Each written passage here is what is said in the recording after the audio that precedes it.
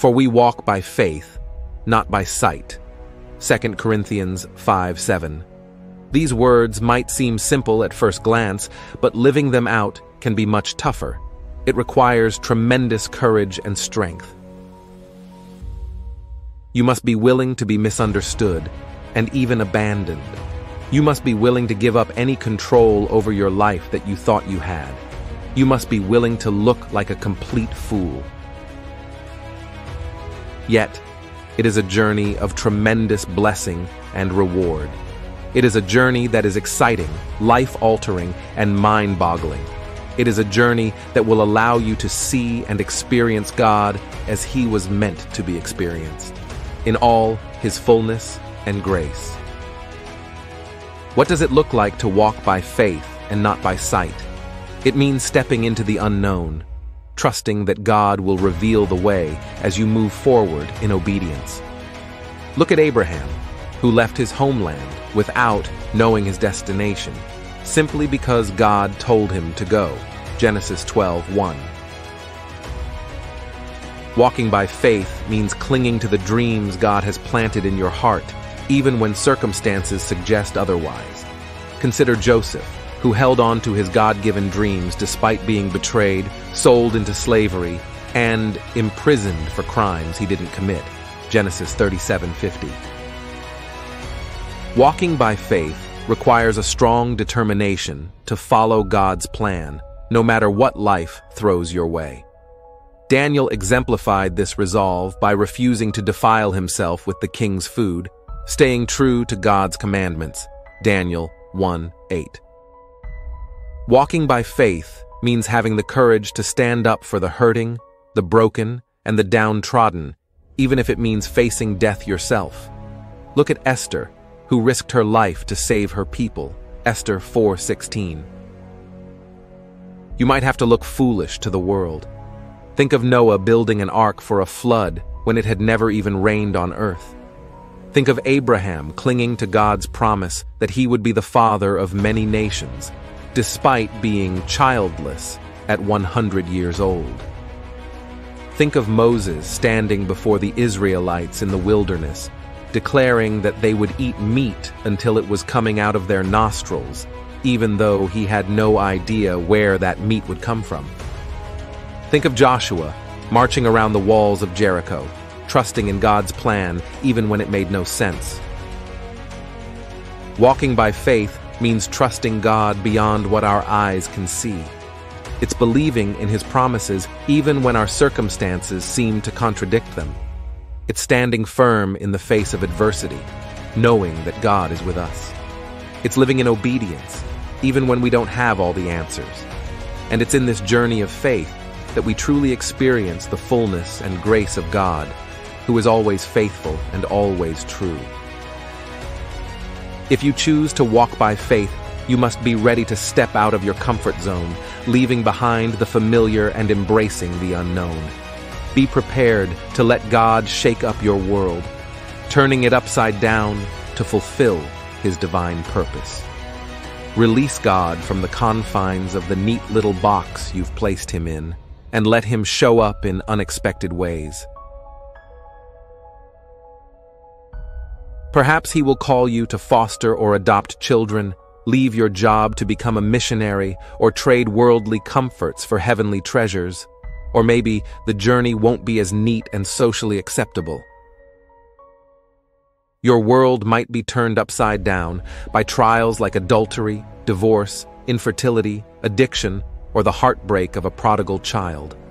Whatever the challenge, if you surrender it to God, He will transform it for His glory. God will take you on a journey, teaching you to walk by faith and entrusting you with life's most treasured moments. He will build a mountain-moving faith in you, teaching you to live with abandon and walk in His fullness and grace. He will prepare you to be used mightily for His glory. Perhaps you've already experienced life being turned upside down, feeling lost and weary. You've lost friends who don't understand your faith and are tempted to settle for less than God's best. But remember, you are not alone. God is raising a remnant of believers who will be obedient no matter the cost. He seeks those with clean hands and pure hearts who will cling to his promises despite seeming hopelessness. Be strong and courageous, my friends.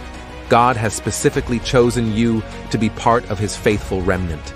He is molding you, testing your faith, and refining you through trials. Remember, the fire will purify you, not burn you. He is with you every step of the way, carrying you, supporting you, and assuring you that He remains in control, even when life seems chaotic. God is teaching you to trust Him deeply so He can accomplish something greater than you've ever imagined. Ephesians 3 20, 21.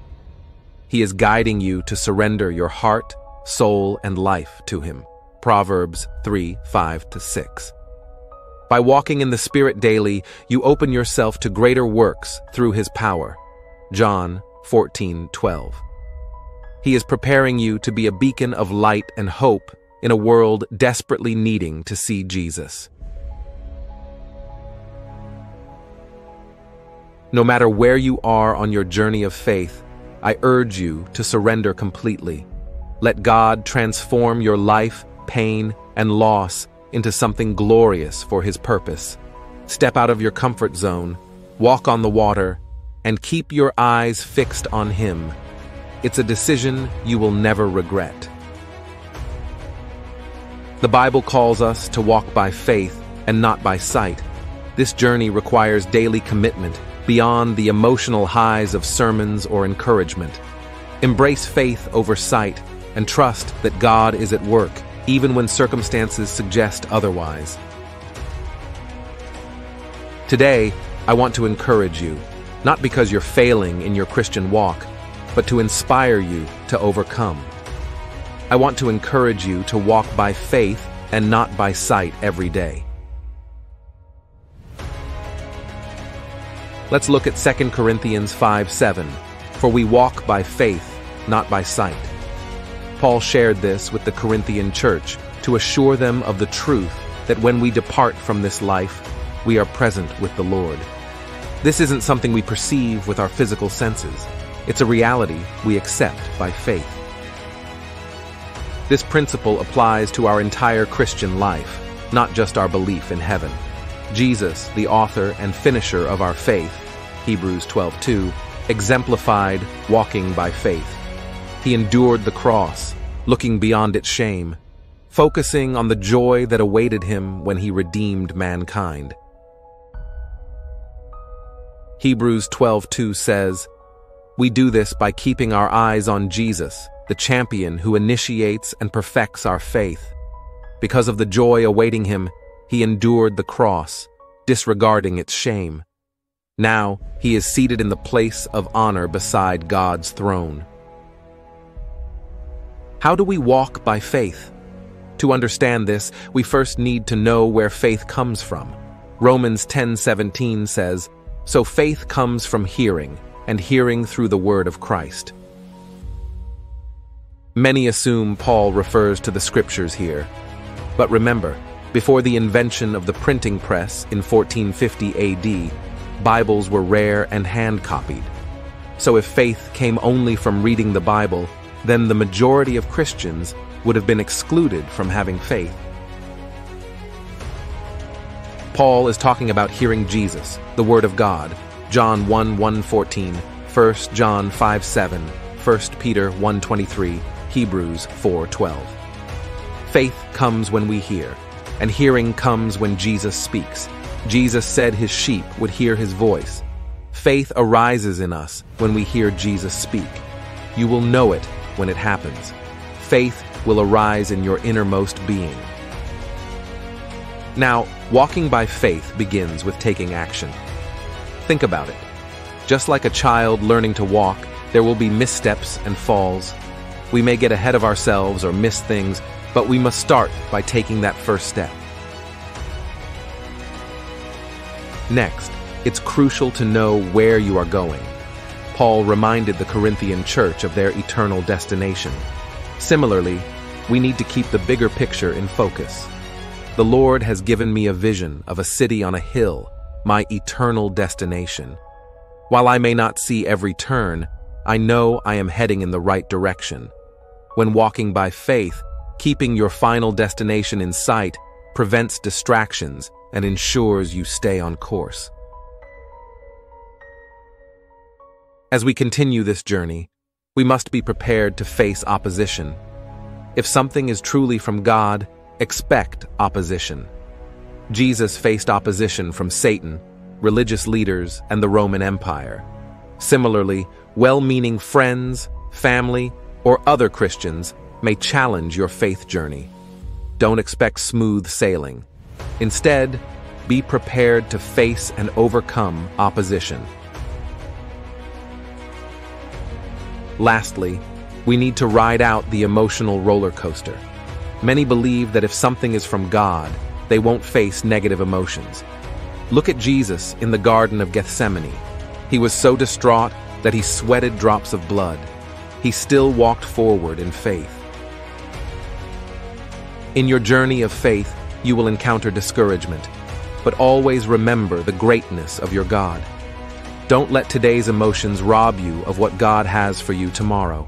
If God spoke to you, walk by faith, not by sight, regardless of opposition or emotional highs and lows. In the end, know that walking by faith requires taking the first step, keeping your destination in focus, expecting opposition, and enduring emotional challenges. If you truly heard from God, then walk by faith, not by sight. God bless you. By subscribing, you become a vital part of our mission to spread the word of God and uplift countless lives. Join us in making a positive impact. Hit that subscribe button now